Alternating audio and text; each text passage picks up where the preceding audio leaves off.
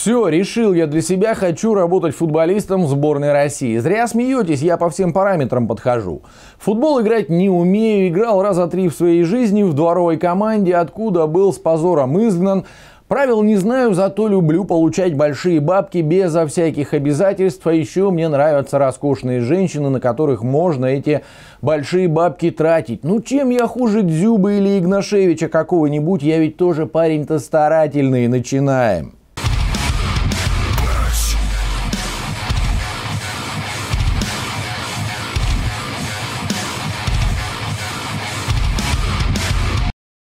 Ребята, остается совсем немного времени и наступит 1 июля. А что для нас с вами означает эта дата? Правильно, именно на нее запланирована очередная всероссийская акция протеста. Короче, в ближайшее воскресенье по задумке идейных вдохновителей в лице Навального мы все вместе выйдем на улицы, чтобы выразить свое фи по поводу непопулярной России пенсионной реформы, которую придумали, как нам рассказывают Димон со своим правительством.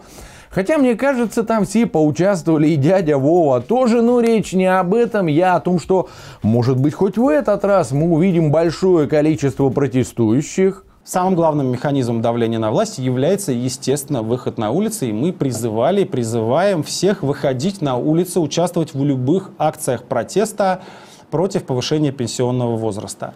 А сейчас в связи с чемпионатом мира в тех городах, где происходит этот чемпионат, ввели такие более строгие правила а, подачи заявок. Мы, честно говоря, эти правила не признаем. Нам на эти правила плевать. Но а, Фонд борьбы с коррупцией, наша партия, мы не хотим тянуть одеяло на себя и прямо вот сильно себя выпячивать. Мы предложили всем публично, я сказал, еще раз публично говорю, что мы готовы участвовать со всеми там, с либертарианцами, с профсоюзами. Ну, по идее, с профсоюзами логичнее всего, потому что... Впрочем, сдуваюсь со своими предположениями, поскольку уверен, диван опять победит протест. Что-то мне подсказывает, что на митинге в очередной раз выйдут не более сотни неравнодушных в каждом городе, в мегаполисах, возможно, до пары тысяч будет, а основная масса выразит свое недовольство за компьютером. В комментариях к моим видео, например, или кому-то из моих коллег что-то напишут. Естественно, мы ж диванные революционеры. Как? Напугаем зеркало в ванной комнате. Ух! А вообще противно все это. Если и в этот раз протест будет никаким, пойду в, пойду в пропагандисты. Там хоть денег нормальных будут платить за то, что дурачкам стану рассказывать о нашем величии. Тем более, что дурачка, э, дурачки-то не против все это проглатывать. Я очень надеюсь, что этого не случится. Это реальная журналистика. Может быть, пора уже перестать бояться и терпеть. Поехали! Господа, то, что буду говорить вам сегодня, вам не понравится, потому что вас в первую очередь обвинять в вашей лени и нежелании хоть что-то сделать, чтобы изменить своей жизни буду. Не будьте лохами, вас разводят. Именно, потому что дело-то не в Навальном. Вот сейчас случилось то, что касается каждого. У нас уже не просто плюнули, а нас ноги вытерли. У нас пытаются отобрать последнее. Таким образом, с людьми в этой стране еще никогда не поступали. У нас хотят забрать пенсии. Ну как забрать? Формально, конечно, нет. Просто возраст пенсионный повышают на 5 и 8 лет для мужчин и женщин. Теперь э, мужики будут выходить на пенсию в 65, женщины в 63. А доживем ли? Проблема продолжительности жизни населения была актуальна всегда, а для ее решения тратится много сил и государственных денег. Однако стоит отметить, что в последние годы продолжительность жизни россиян постоянно растет. И в этом видео мы покажем вам десятку регионов России с самой низкой продолжительностью жизни. Поехали! Открывает список Псковская область, один из лидеров по числу сельских, населенных и опустевших пунктов. Чего скрывать, население бежит из сел Псковщины, и уже более тысячи пустых деревень оставляет впечатление, будто здесь прошло монголо-татарское иго. Основными причинами низкой продолжительности жизни в данной области являются сократившиеся объемы доступных качественных медицинских услуг, а также ухудшение материального положения подавляющего числа граждан, что делает недоступным для них крупные приобретения приобретения, в том числе и жилье. Впрочем, и это тоже не главное. Понятно, что все эти статистические данные только статистические данные, не более. Понятно, что в любом случае на подачку, которая именуется пенсии, жить нельзя, только выживать. Ну это была хоть какая-то соцгарантия, которую давало нам наше вороватое государство. А что теперь? А теперь мы даже на это рассчитывать не можем. При этом каждый работающий по-прежнему должен отчислять в пенсионный фонд ежемесячно 22% от своих доходов. Пока 22, потому что в правительстве мозгуют над другой цифрой 26. Норма ежегодно приостанавливается и переносится вправо. Поэтому нужно окончательно определиться все-таки, а, какая страховая нагрузка а, будет в целом на фонд оплаты труда, включая а, пенсионную систему.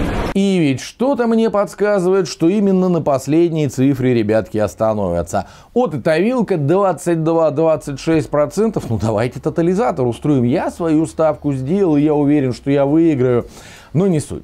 Короче, отчислять эти деньги в пенсионный фонд вы все равно будете. Условно четверть ваших доходов куда? А я тоже не знаю куда. Сможете ли вы эти бабосы когда-то оттуда взять? Теоретически да, после выхода на пенсию, а практически есть, конечно, еще другой вариант – не платить, но тут вы сразу столкнетесь с целой кучей проблем, потому что платить в пенсионный фонд вы обязаны. Нет, значит, у вас блокируют счета, значит, вас не выпустят за границу, значит, вы попадете в черный список должников, и вам придется пройти через хреновую гору судов. Короче, жизнь медом не покажется. Интересно еще вот что, как к этому относится молодежь. Мол, нас, ребята, это не касается, до пенсии нам, как до Китая раком, потому что молодцы про кремлевские политтехнологи, грамотно работают. Вбили соплякам в головы то, о чем они и должны думать. Да нет, детишки, я вас сейчас расстрою. Данная пенсионная реформа касается ваших организмов больше, чем меня даже, и теперь объясню почему. Несколько дней назад вы, зайчики, веселились на своих выпускных балах. Даже дядька Вовка вам речу какую-то толкнул красивую. А пятый канал офигенное шоу сделал ал- алые паруса, куда лям 200 людей пришли. Ага. Для вас сегодня один из самых замечательных, памятных дней. Добрых, трогательных, волнующих и немного грустных. Ведь вы расстаетесь с родной школой а впереди начало нового, большого этапа в жизни. Ожидание бурных, интересных изменений. Пришло время ставить значимые, по-настоящему взрослые цели – вот-вот-вот, вы, ребятишки, больше не дети. Вы взрослыми стали, а значит превратились в налогоплательщиков. И теперь либо двигаете устраиваться на работу, чтобы налоги платить, либо башляйте как тунеядцы. Не плачь, Алиса, ты стала взрослой. Праздник наступил, и тебе уже 16 лет. К сожалению, в вашей любимой стране полноценным гражданином бесплатно быть не получится, сказки кончились. Но вот тут есть проблема. Это вам в школе рассказывали о том, что все профессии важны и нужны. В реальной жизни существует такая штука, как безработица. Сегодня безработных в РФ 5 миллионов человек, и это только официально. То есть это те люди, которые состоят на бирже труда. В реале безработных, конечно, больше. А теперь, ребятеныш, давай прикинем, что значит для тебя повышение того самого пенсионного возраста.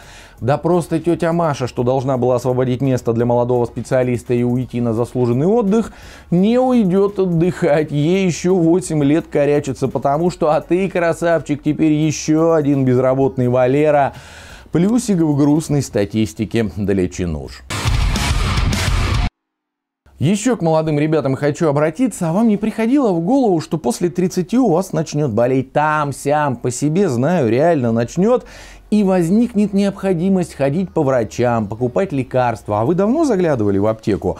Вот я еще молодой и в принципе здоровый мужик, но даже я трачу на эту прелесть таблетки, лекарства, витамины до трех тыр ежемесячно. А ты действительно, малыш, думаешь, что в 60 Будешь здоров, как огурец, или ты красавица. Ты же уверена, что твою жизнь в старости обеспечит твой любимый бизнесмен Сережа.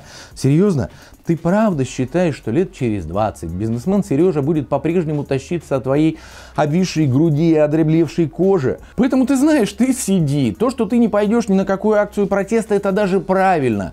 Ты же на диване дома будешь протестовать, и тем самым ты испугаешь мэра, губернатора, даже самого. Сиди, не ходи никуда, не включайся ни в какие процессы, а лучше ляг поспать, и тогда мы точно прорвемся. Российская диванная армия – это ведь наше все. А это была реальная журналистика, и сегодня вот так. На моей страничке в YouTube, ссылка на нее сверху, вы найдете больше полезного и интересного. Заходите, не стесняйтесь, на канал подписаться не забудьте. В соцсети ко мне тоже заглядывайте, там тоже есть чем поживиться. В друзья добавляйте темы, предлагайте, поднимем и обсудим. А я за сим спешу откланяться. Все, пока. Пока.